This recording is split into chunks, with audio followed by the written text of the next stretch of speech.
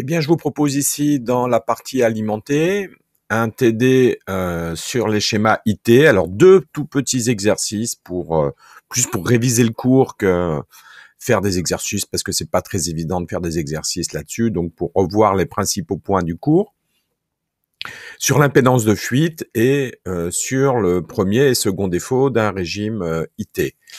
Je ne fais pas l'exercice protection par fusible parce qu'il va falloir avant ça que je fasse les cours sur euh, les protections. Donc, qu'est-ce que c'est qu'une surcharge, un court-circuit, comment on calcule un court-circuit, les disjoncteurs et les fusibles. Donc, ça me fait encore plusieurs cours à préparer pour les prochaines vidéos. Alors ici, un document extrait euh, de Schneider qui met en évidence des valeurs d'impédance de fuite qui existent sur les câbles entre chaque conducteur et le sol à 50 Hz. Donc sur un réseau triphasé, si on a trois câbles d'un kilomètre de long, on a une capacité de fuite répartie de 0,3 microfarad par kilomètre et une résistance d'isolement répartie de 10 mégaohms par kilomètre. On nous demande de calculer euh, l'impédance d'isolement du câble par rapport au sol. Pour effectuer ce calcul, on considère que les résistances et les impédances capacitives de fuite sont regroupées en parallèle au point milieu du secondaire du transformateur. C'est ce qu'on voit ici, là. Hein, et donc là, ce sont les capacités et résistances réparties sur l'ensemble de l'installation. Donc oui, quand on a un câble, il y a une résistance entre le, cuivre et le sol. Hein, donc on nous dit 10 mégaohms par kilomètre. Ce sont des résistances en parallèle. Et de la même façon, on a des capacités euh. Hein. il y a un petit effet capacitif entre euh, chaque euh, fil, chaque phase et le sol. Alors, on nous demande de calculer l'impédance équivalente. Donc, ben, on va faire, on va regarder pour un kilomètre. Donc, j'ai ces trois résistances en parallèle. Donc, ça me fait 3,33 mégaohms. Les capacités, elles, elles s'ajoutent lorsqu'elles sont en parallèle. Donc, euh, j'aurai 0,3 x 3 égale 0,9 microfarad pour une installation qui, est étendue sur un kilomètre. Alors, on a deux impédances en parallèle, l'impédance du condensateur et euh, de la résistance. Donc, notre relation, c'est l'impédance, ça va être la somme des admittances. Enfin, l'admittance, c'est la somme des admittances puisqu'elles sont en parallèle. L'admittance, c'est l'inverse de l'impédance. Donc voilà la relation qui nous permet de calculer l'impédance totale. On va prendre le module de cette impédance, hein, on réduit au même dénominateur, on obtient donc euh, cette valeur-là d'impédance pour ZT. On fait la petite application numérique et on trouve une valeur d'impédance de 3,5 kΩ. Que peut-on dire de l'utilisation du régime IT dans le cas d'un réseau très long? Ben, On voit tout de suite que 3,3 kΩ, ben, c'est pas très très élevé en fait. Hein, c'est voilà. Euh, 1 km euh, pour un kilomètre. Donc si le réseau s'étend, si on a une installation plus grande, eh bien à ce moment-là, on va avoir du mal à garantir l'isolement du réseau. On va être dans l'impossibilité de maintenir l'impédance d'isolation. C'est pour ça que les installations IT sont réservées à des installations de petite taille et après il faudra, ben, quand on a des installations de grande taille et qu'on veut pas déclencher au premier défaut parce qu'on a un impératif de continuité de service, eh ben, il faudra réfléchir à ça. Voilà, juste un petit truc pour expliquer les problèmes qu'on a sur de vastes installations où on a le, CPI qui a tendance à euh, présenter des, des, problèmes d'isolement, alors qu'en fait c'est juste lié à, c'est pas un réel défaut, hein, c'est l'installation qui qui est très étendue. Exercice numéro 2, premier défaut. Second défaut, une installation électrique est réalisée conformément au schéma ci-dessous, donc là quelque chose d'assez classique, hein, en régime IT.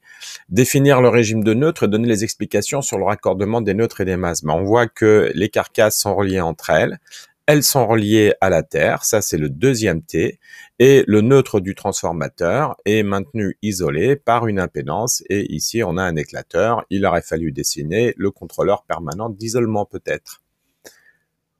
Voilà l'explication. Alors, on nous dit que la phase 2 entre en contact accidentellement avec la masse métallique du récepteur 2, créant ainsi un premier défaut. On nous donne 400 volts, 1000 ohms pour l'impédance de fuite du réseau, le Z qu'on a là, la résistance utilisateur 10 ohms, la résistance du neutre, donc utilisateur ici 10 ohms, la résistance du neutre très très inférieure à RU qu'on va négliger, calculer la valeur de la tension de défaut UD1 de la masse du récepteur 1 par rapport au sol. Donc la première chose à faire, c'est de déterminer le courant de défaut. Donc on a la phase 2 qui est en contact avec la carcasse. Donc on va partir de la phase 2. On va redescendre ici, se balader, remonter. Il faut reboucler notre circuit. On va passer comme ça et on va revenir ici. Voilà. Donc ça, ça nous dit qu'on a une tension simple sur ce, sur cette boucle.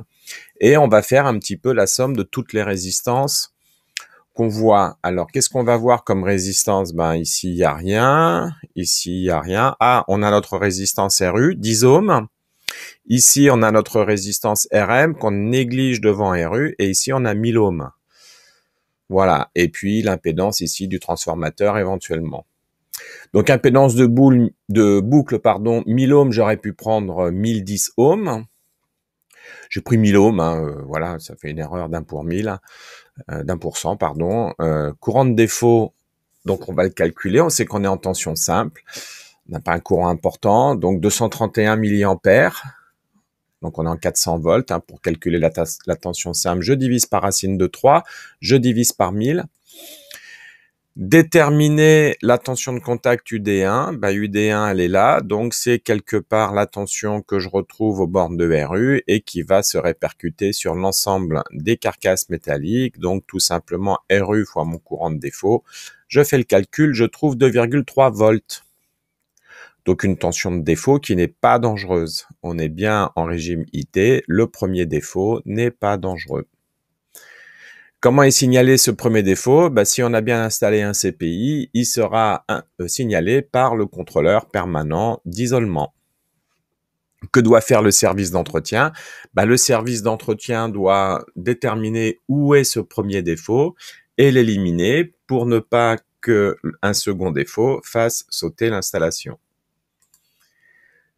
Le premier défaut persiste et la phase 3 entre en contact accidentellement avec la masse métallique du récepteur 1. Représenté sur le schéma de parcours le nouveau courant de défaut ID2 et dans ce cas précis, quel est l'appareil qui assure les protections des personnes contre les contacts indirects? Donc on a notre second défaut qui apparaît ici. Et il va falloir faire le tour un petit peu de notre euh, défaut. Donc on va passer par là. Hop, on descend, on remonte. Il faut revenir par L2 et voilà notre cheminement du deuxième défaut. Dans ce cas précis, quel est l'appareil qui assure la protection des personnes contre les contacts indirects? Donc là, on n'a aucune limitation du courant de défaut, en dehors des impédances de ligne, de l'impédance du transformateur, euh, etc. Donc, euh, bah, c'est soit DJ, soit DJ1, soit DJ2. Alors, en toute logique, DJ euh, est par sélectivité, il doit pas sauter parce que ça mettrait toute l'installation en défaut. C'est donc soit DJ1, soit DJ2, et il faut à ce moment-là connaître les courbes et les calibres de DJ1 et DJ2 pour savoir qui va déclencher en premier. Mais en aucun cas, ça doit être le disjoncteur principal qui déclenche. Voilà, donc vous voyez, c'était très rapide pour euh, parler un petit peu. Sinon, les autres exercices qu'on peut avoir correspondent un petit peu à ce qu'on a fait en TT, hein, ou ce qu'on vient de faire là, de calculer la tension aux bornes de RU lorsqu'on a un défaut, puis de montrer que cette tension est négligeable. Après, ce sont des calculs de courant de court-circuit et ce sont des calculs de temps de déclenchement pour voir si on correspond euh, dans les normes à la durée qu'on est autorisé à laisser apparaître une tension de contact. Hein, on a des normes qui nous disent que telle tension de contact doit pas subsister euh, plus que telle durée. Et à ce moment-là, bah, on regarde avec les courbes de déclenchement, les courants de court-circuit estimés, si tout ça, ça correspond. C'est pour ça que les prochains cours, je dois les faire sur les protections. Qu'est-ce que c'est qu'une surcharge? Qu'est-ce que c'est qu'un court-circuit? Un disjoncteur Un fusible. Voilà, donc on se retrouve dans ces autres cours.